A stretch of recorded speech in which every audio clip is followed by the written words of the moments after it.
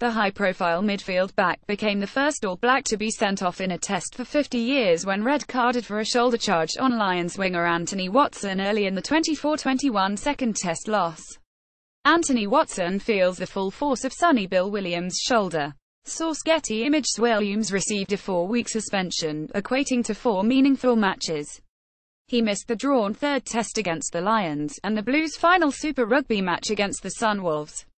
Two preseason counties Manukau matches, one against North Harbour and one an inter-squad match, were presented by NZ Rugby as completing the four-match ban.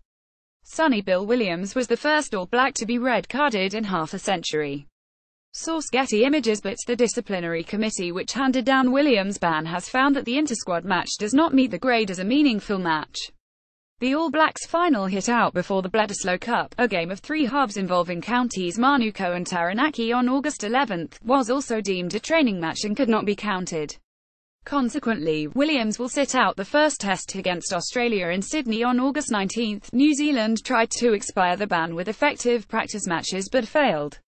Source absence The hearing on July 2. The disciplinary committee has been receiving and reviewing additional submissions and evidence from the player's side relating to his upcoming schedule of matches, World Rugby said in a statement.